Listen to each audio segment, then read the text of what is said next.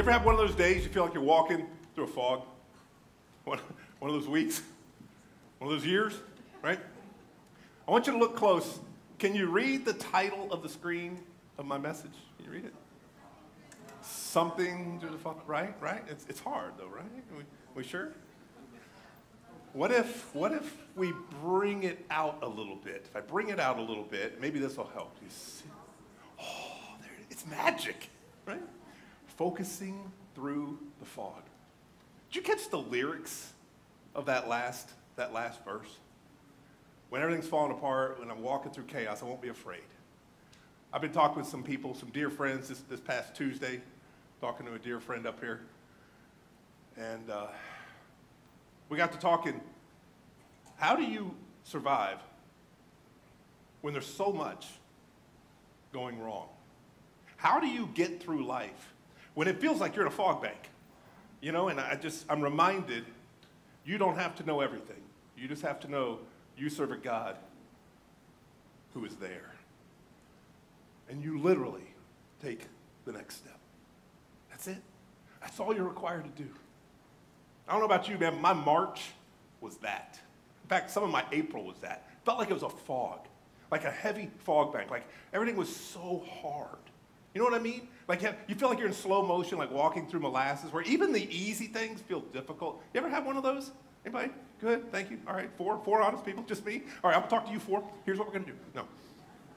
Today, I hope this is very helpful because I wasn't sure where the Lord was leading me with this message. And He gave me a brand new word because of the road many of you are walking right now. Some of you are in that fog bank, man. It is thick. And you've got some dark, negative loops going. I get it. It's so easy, so easy to put your focus right here. So easy to get stressed out and think, well, what about this? What about that? How do I reach the, you know, no, no, no, no, no. Your job, faithful soldier, is to just take the next step. Just be obedient today. God will take care of the details. I needed a change of scenery a few weeks ago and uh, didn't really have time to, to get away more than a day. So I told the family, pack your clothes. We're going on an adventure. We're going to go camping at Jordan Lake. So we took the pop-up camper out to Jordan Lake. Unfortunately for me, my timing could not be worse. It ended up being the hottest day ever. Like in Recno, but hottest day in March. And it was buggy and polleny and humid. And y'all, you know me. I got three fans on me right here and I'm still slick, right? This was a deadly combo for me. And I, I went, my attitude was already like, mm, just, nobody talk to me. I just need to be alone. I'm in a fog. I just, you know, everything's hard. Took eight tries to just back that silly thing up into that spot. You know, if you ever backed it up, it's backwards. It's like, oh, it's, no, no, wait. Oh, and you know exactly what I'm talking about. And so I, I couldn't wait to get that thing popped up because I knew I had salvation in this black box on the roof. Anybody know what that is? It is salvation. It is God blessed air conditioning. They're having that in heaven. I know that. It's got to be. And I knew if I could just get that pop up camper up and turn that AC on, all would be right with the world. And I had my buddy with me. He was helping me out. Besides, we had a new awning off to the, the left side. You can't see that, you know, we'll put that up and give you some nice shade. I've never put it up before, but how hard could it be? oh, you've been there.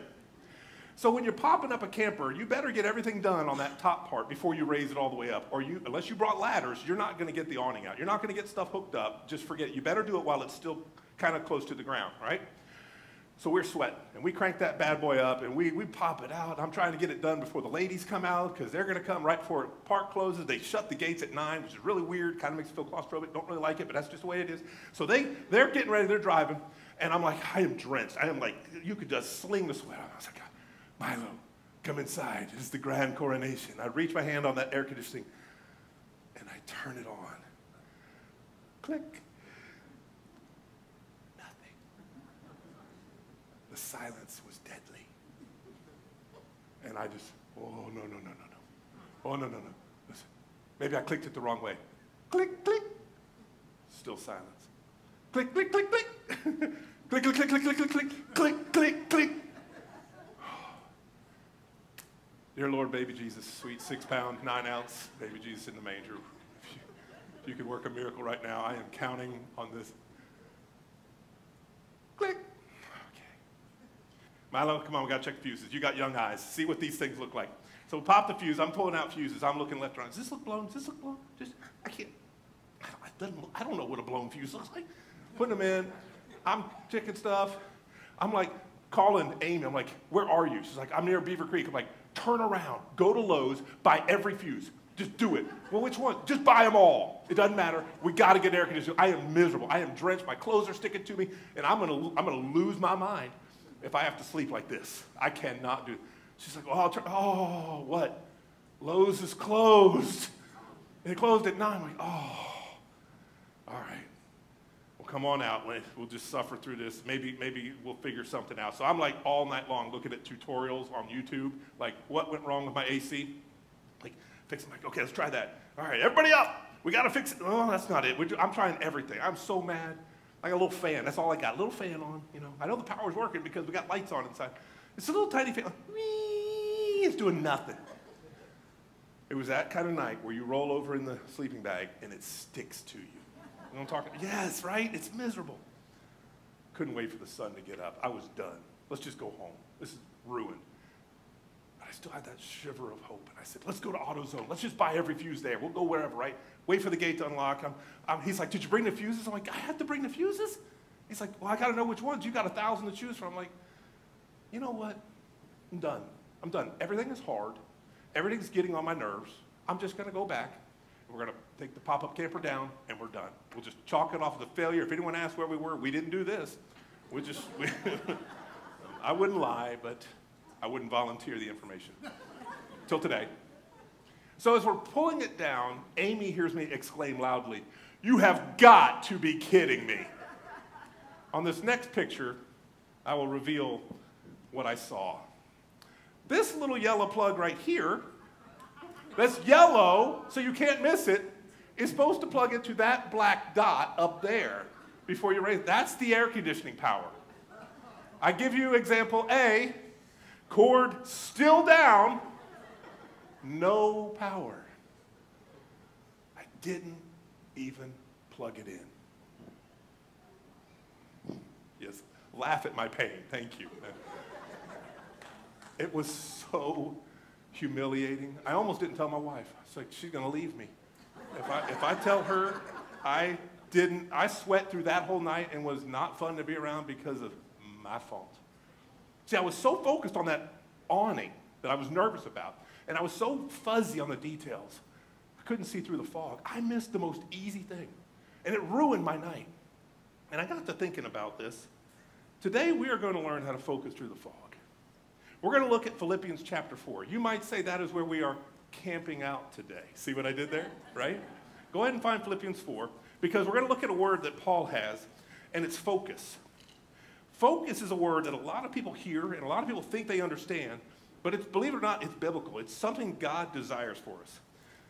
Here's a truth I want us to recognize the world around us loves to be a thief when it comes to our focus.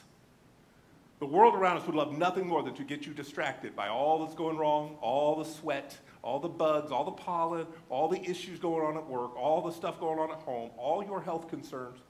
They would love us to do nothing more than to focus on that and give up our joy and give up our reason for being here, to be light, to be salt. Most of us choose to focus, it's triggered by what we think about. That little thing, boom, and we're right here. This is what we think about, right? And our thoughts have the power to either drag us down to that emotional pit of despair or to lift us up where we belong, up on the mountain. And we have these extremes that we go back and forth. It is so easy to be distracted and let someone else's negativity take you down. It is so easy to whip out your phone and start scrolling, doom scrolling, and looking at what everybody else is doing, everybody else has, everything else going perfect, everybody has their best foot forward on Instagram. Chaps snap a TikTok, whatever the latest thing is. And you're looking like, man, I, I want that. And pretty soon we have this negative loop playing. And we think, where's God? Why is everything so hard? Why do I feel like I'm walking in slow motion? through the fog. You can be so focused on what's going wrong that you miss what God is doing, not only in your present, but what He's got for you in the future. Simply put, our first truth is this our focus has the potential to influence our faith. Did you know that?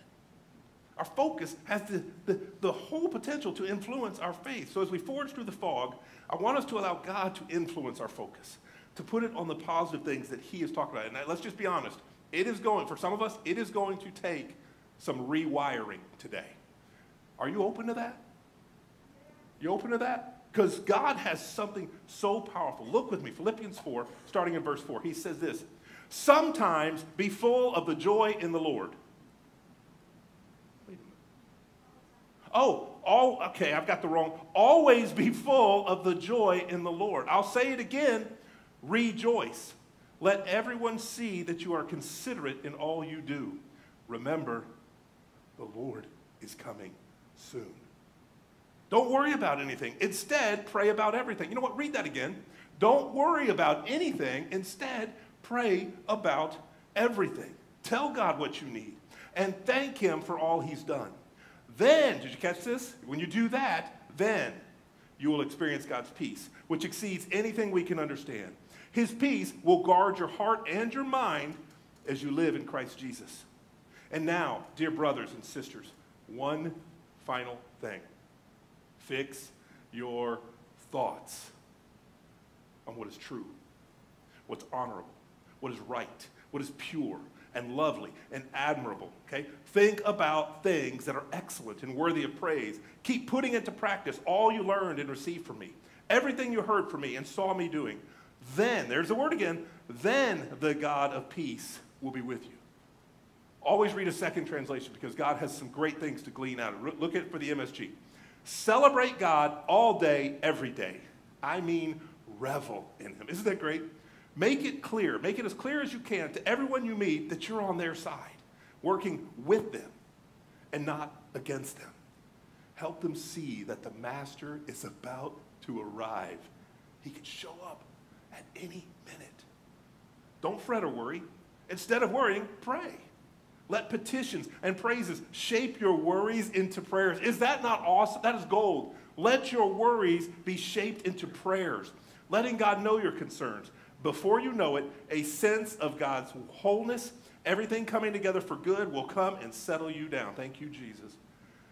It's wonderful what happens when Christ displaces worry at the center of your life. Summing it up, friends. I'd say you'll do best by filling your minds and meditating on things true and noble and reputable and authentic and compelling and gracious. The best, not the worst. The beautiful, not the ugly. Things to praise, not things to curse. Think about this. I'll just pause right there. Think about what we put in our minds. All right? Just uh, what did, what did you watch on Netflix just this past week? Was it any of these things? Parents, what about the stuff you let your kids watch this week? What about the stuff they listen to? Was it reputable, noble, true, compelling, gracious? Think, we're challenging today. We're going straight in. Buckle up. Think about this. We wonder why we have anxious thoughts. We wonder why we look just like the world when we are consuming a diet just like the world. It's sewage. Garbage in equals garbage out. Good stuff in equals good stuff out. Keep reading. Put into practice what you learned from me. This is what we're learning.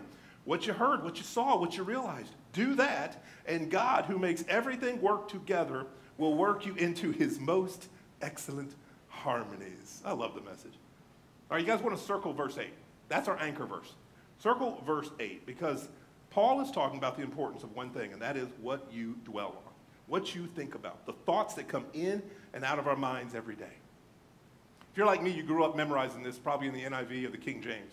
And it says, finally, brothers, and sisters, whatever's noble, whatever's true, whatever's right and pure, lovely, admirable, if there's anything excellent or praiseworthy, think about such things. So Paul is mentioning right here, all of this should, all of our life should be filtered through these categories. But let's be honest, Knowing what good thoughts are is one thing, but putting them into our brain and choosing to focus on those is another completely. So, how do we do that consistently? Break it down, Pastor Matt. This is the real world. I, I want a three step plan. Well, guess what? I don't like three step plans, but Paul has a three step plan. It is amazing what he says here. The process of thinking thoughts, like what Paul talks about, happens like this. The first step is simply recognize the wrong. Recognize the wrong. Sounds simple, right? Mm-mm-mm. Be honest. How good are you at that? How good are your kids, your grandkids at that? Uh, this weekend, Amy surprised our youngest with her very first trip to go get her toenails done at the whatever place that is, right? Clearly, she hated it. it, was, it was a terrible time had by all. She loved it. And one of the things I love about this is as she's growing, she's getting older, she's starting to grasp and realize the difference between right and wrong. And it surfaces in the most, she's not in here, right? Good? All right, good. Let's talk about her, right? I just don't, don't want to embarrass her. But she, she's starting, it's so adorable what she does. She, she'll come up to me and her lip will be trembling. Daddy, oh, this will be good, right? I, uh, I love you.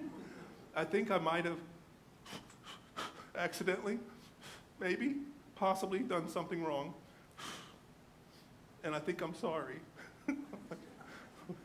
you think you're sorry? You think you did? Did you hear all the qualifiers? Maybe, possibly, might have, accidentally, right? Not my fault.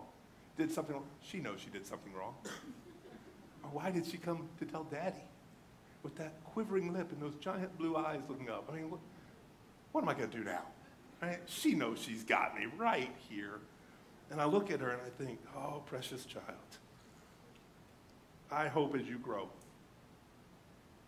you'll grow in the faith and knowledge of Jesus. And you'll be able to discern what is good and what is wrong, what is right, what is true. You'll be able to stand on that. You'll be able to teach your kids if the Lord holds back his return. Guys, we need to recognize and realize wrong thoughts and the damage they do. There are some good people who are internalizing garbage and trash. We have a whole generation of people through this pandemic who are so depressed, so down, down on themselves. So many who are suicidal. They're subconsciously having this dialogue with themselves. Man, I get it. It's what we do. Our thoughts revolve around us because they're ours. We are inherently focused on ourselves. Paul is saying the first step is to point out what's wrong, to recognize it, to admit it. We have to practice this with ourselves. We can recognize the wrong all around us conversations people have, gossip over here, bad things in the world. Can we recognize it in ourselves and say, Stop? Not today, Satan. I rebuke that. This negative thought. We're supposed to filter it through what Paul just says whatever's right, noble, true, just, pure, beautiful, praiseworthy. All right, let's just take one common thought, for example, okay? Worry worry. This is a beautiful one. Let's say you find yourself in a constant loop of worry and anxiety. I want to share with you a very simple, practical example of how to take that negative thought captive and deal with it. First, we're going to look at it from a secular human viewpoint, see how this does. And then I want to talk about the real way, the spiritual way. There's a great story I shared years ago. And if you, if you missed it, it was about a sermon on anxiety, so I won't go into that. But if you missed it, there was a respected CEO, a very famous, well known British film entrepreneur. His name was J. Arthur Rank, legend over in the UK. In fact, he made it on our own Time magazine cover. He was credited with starting Hollywood over in England. Okay? That's how big this guy was. In fact, if you're not sure how big Pinewood Studios was, we'll just pick a, a movie at total random. Uh, I'll just put any movie up what was filmed there. We'll just pick one. Oh, okay, Star Wars. How about that? How'd that get there? This guy was a legend, but he had one problem negative thoughts. They consumed him. He had it all going. Everybody wanted to be this guy, multimillionaire, legend on the cover magazines, but he had this negative thought loop that was going. And he was finally fed up. He said, I am done with these negative thoughts that are robbing me of my peace. So finally, he did something about it. And he said, No more am I going to worry about things every day. And he picked one day every week to worry. One day. He said, I'm going to put all my worries on that one day I'm going to pick Wednesday. So he created the Wednesday worry box. What an incredible concept. So far, he's got it, he's got it dead on. And he said, Here's what I'm going to do. Anytime I get an anxious thought, anytime I get a worry, I'm going to write it down. I'm going to put my list here. I'm going to fold it up, and I'm going to put it in my worry box. And I'm not going to dwell on this until that day. And the most amazing thing happened. Guess what? When he opened the Wednesday worry box, when Wednesday finally rolled around, nearly everything he was worried about had resolved itself. Or it ended up being a non issue. How incredible is that? He looked at it he said, What am I doing? I am wasting my time. I am giving the devil so much power over me. I'm worried about things. 90% of it didn't even come to pass. How absolutely useless would it have been to worry about them in the first place? Isn't that great? Guys, guess what? We don't have to put our worries in some goofy little box. We can put our worries at the foot of the cross.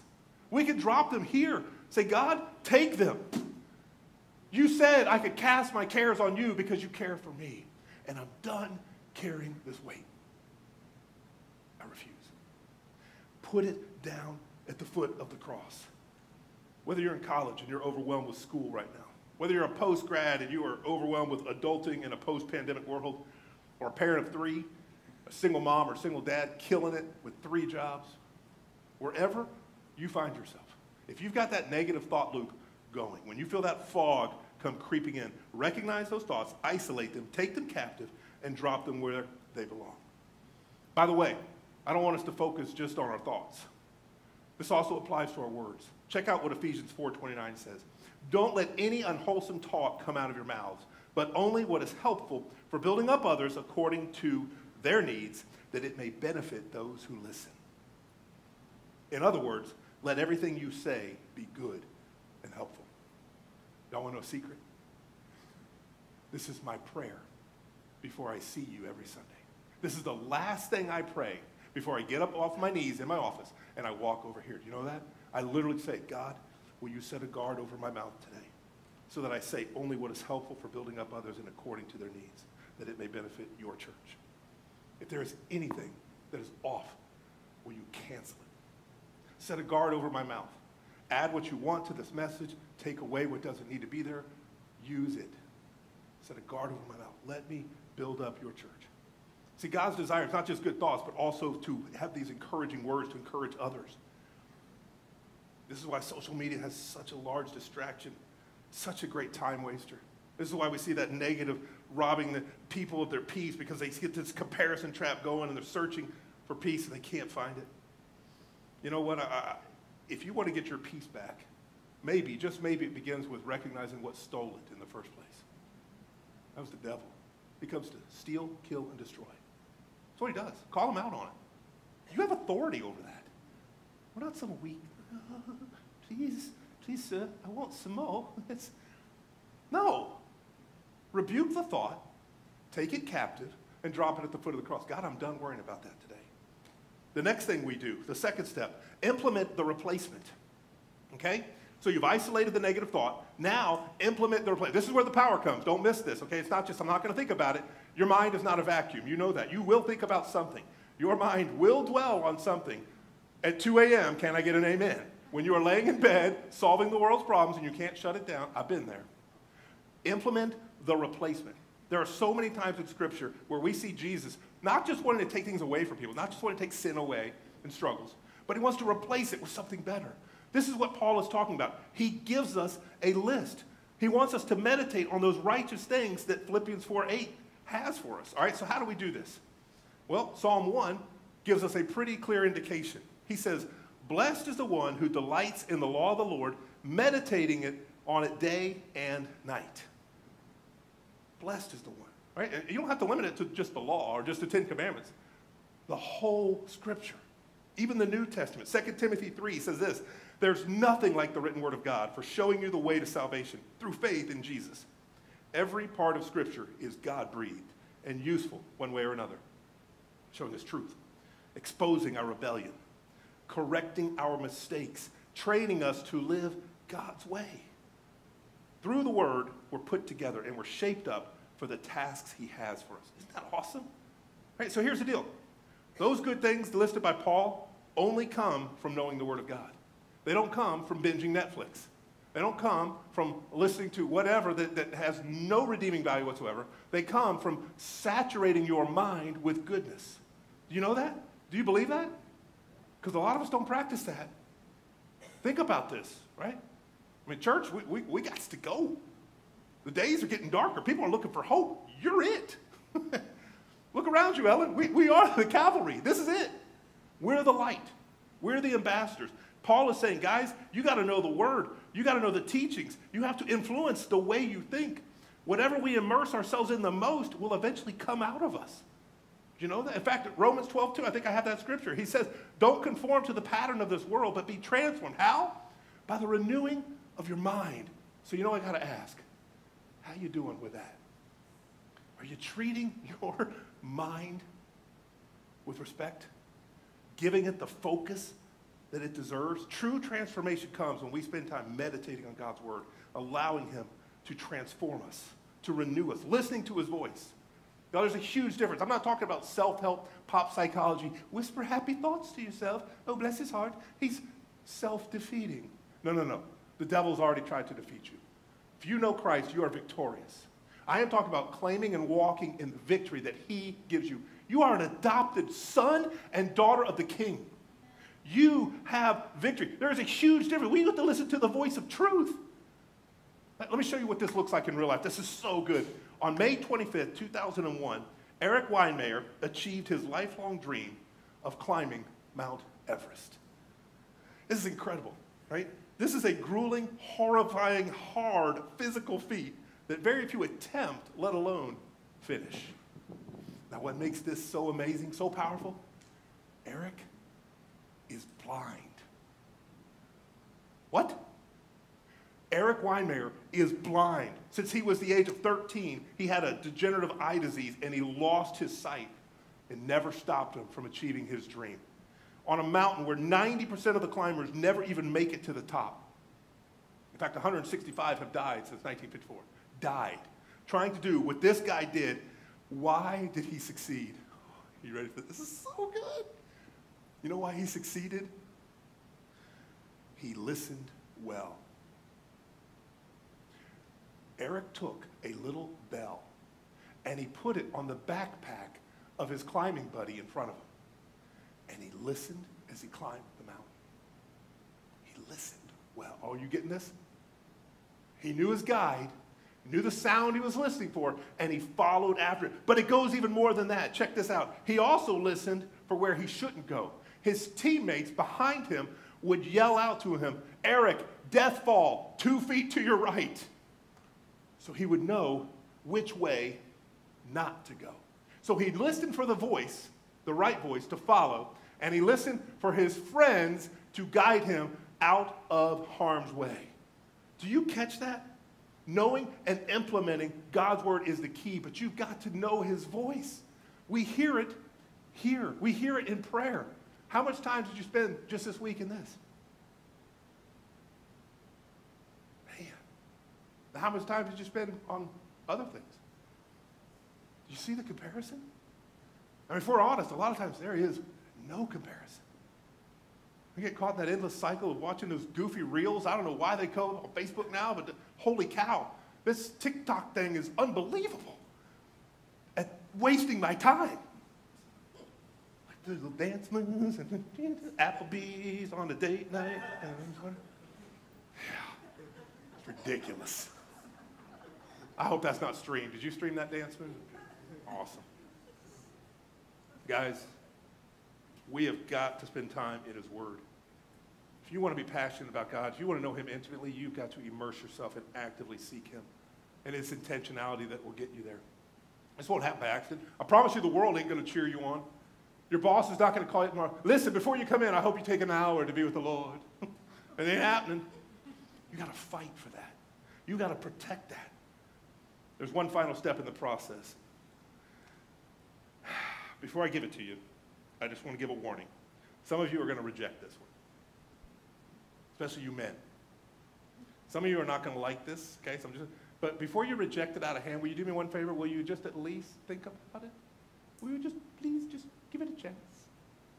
Because this is what we need. This is what Paul's talking about. the final step in the process is to embrace authentic accountability. Ugh. Pastor, I don't like accountability. I know, I get it. No one does. But it's for your good.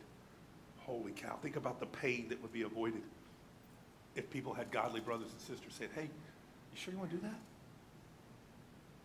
Man, have you thought about the repercussions of what you're thinking about doing? Seriously, bro? It could destroy everything. Think about the pain and the damage that would have been avoided. If there's one thing I know about the body of Christ, it's that none of us were meant to do this life alone. None of us were meant to be an island. Can't do it. That is why I absolutely love what Pastor Jason is doing with our small group ministry. Because it has these tight knit things. I hear just, just one small group teacher, that blonde right there that I'm married to, she'll come home and go, know, we had the sweetest fellowship. It was unbelievable. Can't tell you what it said because it was just kind of a nice little intimate time, but just know that there are people loving others and bearing burdens of others. They're embracing authentic community, accountability, and love. I mean, it's doubled just what we're doing in small groups just in the last three months. Now it's on Wednesdays too, Sunday. There's no excuse. We got childcare. We need this. We have got to plug in. In fact, I was just talking to one of our amazing youth just this morning saying, I ran into a person who knows Jesus and we were, we were able to share. They're walking the exact same road and, and they're encouraging me. And you could just see the joy registering on her face. You need that. You need that, that group, that accountability partner who will be there for you, to be that listening ear. Do you have that? You need that person who will maybe even come up and knock you upside the head and say, Yo, what are you thinking?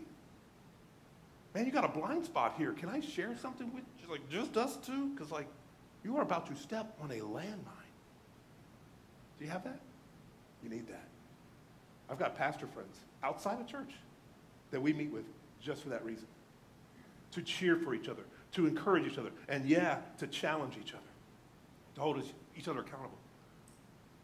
There's a great story about the military David Gibson tells about an army sergeant who, for 25 years, tried to kick the habit. 25, quarter century.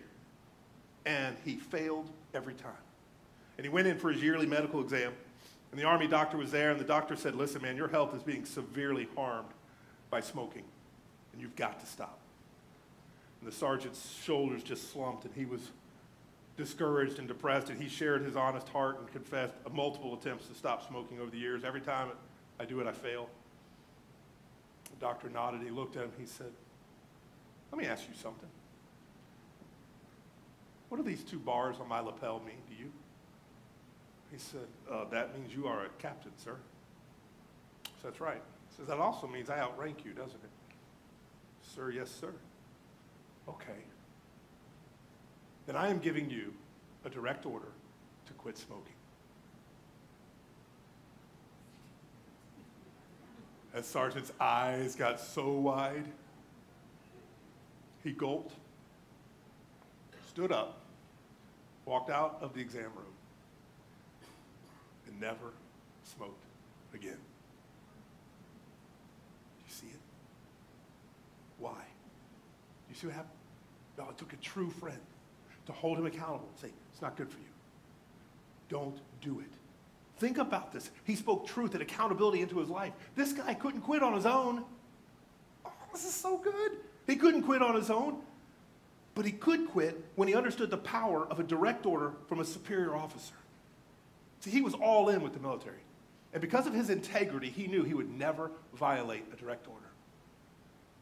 Guys, we have direct orders from our supreme commander giving us commands. We don't even know the word enough to live them, let alone share them. We've got to immerse ourselves in it. Think about this. Our commander in chief has given us orders. When we take them as seriously as that sergeant took the orders from that captain, we will change the world. But it took a true friend to hold him accountable, to speak truth into his life. So your true friends are the ones who want to watch you grow. Students, I hope you hear that. Your true friends are the ones who want to watch you grow, not the ones that gossip about you or slander you. Your true friends care about your spiritual health as well as your regular health. Embracing authentic accountability will require honesty. That's why a lot of people won't do this last step. It requires vulnerability. The reality is accountability. You may not like what you hear sometimes, but it is only when you hear it and you embrace it can you change it. That makes sense? That's where the rubber meets the road. When we empty out these negative thoughts in our mind, people close to you are going to be able to tell what's in your head, by the way, because of what you speak. Matthew tells us, from the overflow of the heart, our mouth will speak. It's obvious. You can tell what's, some, what's important to somebody because within five minutes it'll come out. Just, just listen. Just, just at lunch today. Just don't talk. Just listen. See what's on their mind. Right? We'll just overflow it. If you are willing, those close to us can provide that authentic accountability that Paul is talking about. People who will regularly check in on you. Say, hey man, how's your spiritual life? You spend any time with the Lord this morning? Tonight? You've been in his word? How's your prayer life? How's your faithfulness to the Lord's church? To the bride of Christ? Somebody who will come to you that challenges you to take steps of growth, forcing you to focus through all this fog on what is truly important. Make no mistake, hear me. Focusing on good things that Paul's talking about takes intentionality. This will not come naturally, but you will see amazing things. All right, so here's what we're going to do. We're going to end a little bit. I'm going to give you your challenge, and then I'm going to pray for you. We're done. Okay, I'm going to land the plane. I'm not putting it on the screen. If you're serious about it, get out your little notepad and write these down. Okay? Here's your challenge I want you to do this week, the first week, first day. I want you today to commit to being in the Word. Okay, I want you to literally schedule and commit to a regular time to read the Bible. That's your first step. Second step, along with reading, I want you to have something to write down any negative thought that you have racing through your mind. Anything that's distracting you, anything that's causing you fog. Okay? I want you to write it down so you can address this. There's nothing wrong. No shame. Write down everything, it's specific negative thoughts that you got running through your mind. It could be thoughts about work, your significant others, friends, kids, your health, God, whatever. Whatever's on your list, write it down, be honest, and have it there because I want you to drop it at the foot of the cross.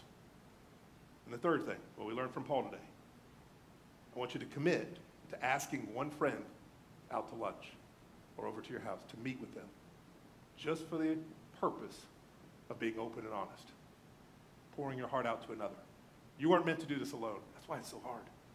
Quit doing it alone. I want you to commit. Find that close friend, that mentor. Discuss what you're reading. Discuss what you're Ask them to identify, hey, are there any negative thoughts that you hear me talking about? Am I whining about something incessant? Do I have a blind spot? I don't even know it. Will you, will you show, then ask them to pray for you, right?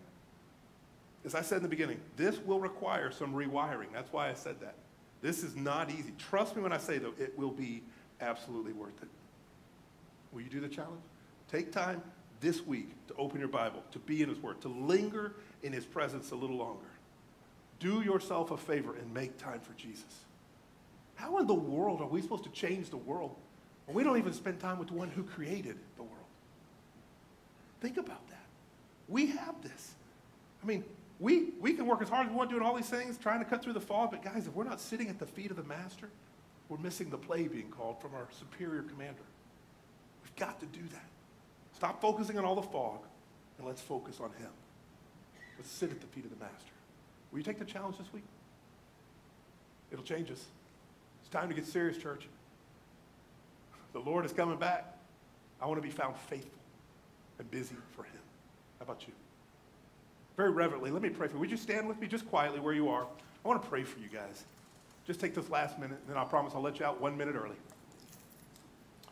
Just tune out the distractions. If you're watching online, just do what you can to minimize anything that would pull you aside and focus now. God, I pray for these brothers and sisters. Lord, I lift them up to you. Such faithful, good people. Lord, would you give them encouragement now? I pray that you would bless their marriages. I pray that you would bless their health, their finances, their testimony for you. I pray that you would remove strife and stress and worry from their homes. I pray that you would give a lightness to their steps and remove this mantle of fog that the enemy wants all over this world. God, I pray you would cut through it. I pray that you would be the light in the dark room. Shine through us, Lord. Thank you that we can spend time with you. I pray that you would give us that one person to mentor, to, to come alongside, to whisper truth, to encourage, to love, to pray for, to hold accountable. Lord, begin with us. It's not about those outside. It's not about the lost. Lord, begin with your church. You said judgment begins here. God, help us to walk this week in holiness. Lord, I pray that people would see peace radiating from our eyes, even in the midst of storms. Hear our prayer, Lord. Do something great. We're so excited. We see the revival. We feel the, the, the beginnings of what you are doing in pockets all around the world. We don't want to miss it, God. Help us be a part of that. May we be bold for you. May we shine bright for you. That is our prayer as we go today. In Jesus' name. And all God's church said, Amen and amen. God bless you guys. I love you. I hope this was powerful for you. It was for me. I will see you Wednesday night. God bless. Have a great week.